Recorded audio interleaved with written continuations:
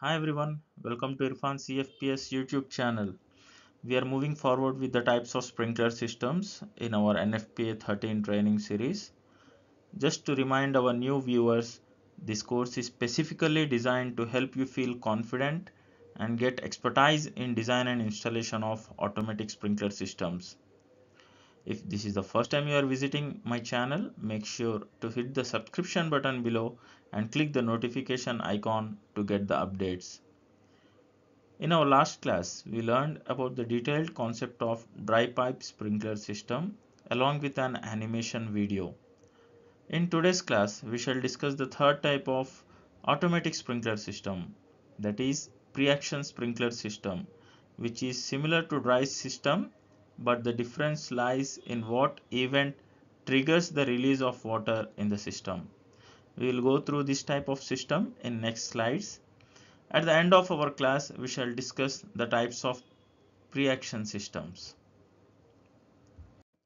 Let's begin our class with the introduction to pre-action systems. Of all the sprinkler systems, perhaps this is the most complicated type.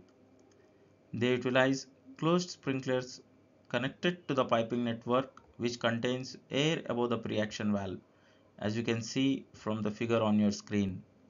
The system piping is pneumatically pressurized for supervisory purposes only.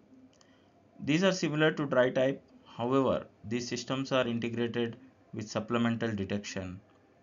Detection system must be activated before water is released into the piping. The detection system is commonly electric or pneumatic or a combination of both. Pre-action systems are also common choice where freezing is a possibility. Pre-action system is used where there are concerns over water damaging the critical equipments such as in computer rooms, telecommunications, museums, libraries, coolers and freezers to name a few. These systems provide highest degree of protection against unintended activation. Before we try to understand the operation of the pre-action systems, these systems are typically utilized where it is desirable to delay the introduction of water into the system piping until appropriate signals are received from the detection system and or the supervised piping. As you can see on your screen, water is filled till the pre-action deluge valve. A supplemental detection system is installed in the same area as the sprinklers. All sprinklers are closed and normally there is no water in the piping. When fire occurs, a supplemental detection system senses the fire and automatically open the pre-action valve. When the pre-action valve opens, water flows into the piping system Water discharge occurs from each individual sprinkler as they fuse in response to heat. Now let us try to understand uh, the types of pre-action systems. NFPA 13 defines three basic types of pre-action systems.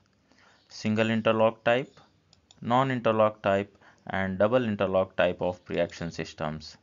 Single interlock pre-action systems admits water to sprinkler piping upon operation of detection devices only. These systems may have an electric or pneumatic detection system. This type of system is used where it is desirable to have water available at the sprinkler when the sprinkler activates. Single interlock pre-action systems are commonly used where the sprinkler system piping or sprinklers may be subject to damage. The most common applications are system applications where it is important to control accidental water discharge due to damaged sprinkler piping. Non-interlock pre-action systems admits water to sprinkler piping upon either operation of detection devices or automatic sprinklers. These systems are recommended for very large dry systems which exceed the capacity normally permitted on a dry valve. Double interlock pre-action system admits water to sprinkler piping upon operation of both the detection devices and automatic sprinklers.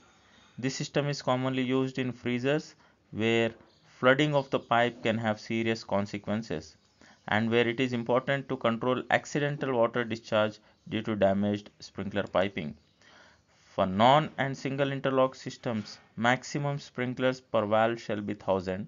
For double interlocked systems, maximum capacity as per NFPA 13 shall be 500 gallons with 60 seconds discharge requirements.